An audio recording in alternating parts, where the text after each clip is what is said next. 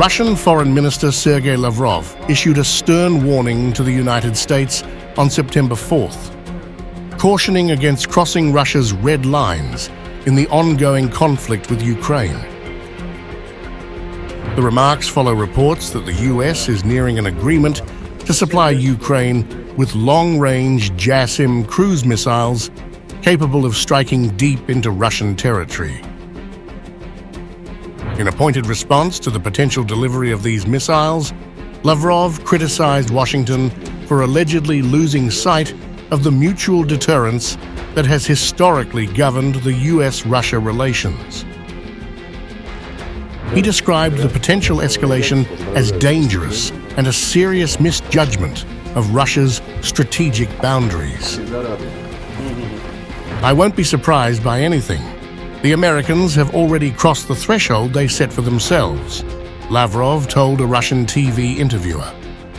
He expressed skepticism that the US and its allies understood the gravity of their actions, implying that Ukrainian President Volodymyr Zelensky was exploiting the situation.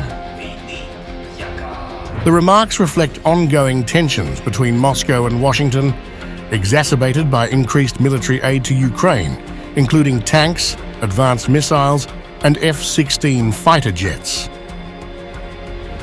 Lavrov's comments came in the wake of Ukraine's recent military actions, which have intensified debate among Western politicians about the efficacy and risks of continued support for Kyiv. President Vladimir Putin has consistently warned against efforts to undermine Russia's strategic interests since initiating what he terms a special military operation in Ukraine in 2022. Despite Putin's warnings and the presence of Russia's vast nuclear arsenal, the West has maintained its military support for Ukraine, with some Western leaders even suggesting that Putin's nuclear rhetoric may be a bluff.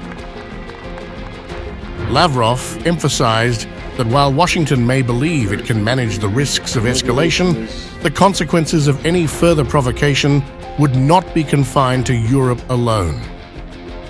They shouldn't joke about our red lines, Lavrov cautioned, underlining the seriousness with which Russia views these potential developments.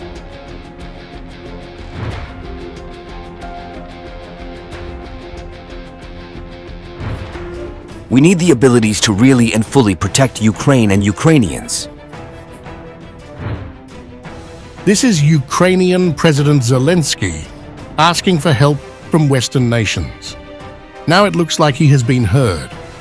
According to a report by the Reuters, the United States is on the brink of finalizing an agreement to provide Ukraine with long-range cruise missiles, a move that could have profound implications for the ongoing conflict with Russia. According to US officials, the deal, while not yet officially confirmed, could see Ukraine receive Joint Air-to-Surface Standoff Missiles, JSM, as part of a broader weapons package expected to be announced this autumn. However, the delivery of these powerful munitions is not imminent. The potential inclusion of JSMs in Ukraine's arsenal marks a significant shift in the strategic landscape of the conflict. These missiles, known for their stealth and precision, would extend Ukraine's striking capabilities deep into Russian territory. Military analysts have pointed out that this could drastically alter the dynamics on the battlefield by forcing Russia to push its staging areas and supply depots further back from the front lines. Sending JASSMs to Ukraine could significantly alter the strategic landscape of the conflict by putting more of Russia in range of powerful, precision-guided munitions. Ukraine's current missile inventory is limited in range, but the introduction of JSMs would allow strikes on key Russian military installations as far away as Voronezh and Bryansk from Ukraine's northern border. In the south, the missiles could target crucial airfields or naval facilities in Crimea, areas that have been heavily contested throughout the conflict. The JSM, developed by Lockheed Martin, has thus far only been integrated into US-designed aircraft. Ukraine is set to receive several dozen F-16, each capable of carrying two of these missiles.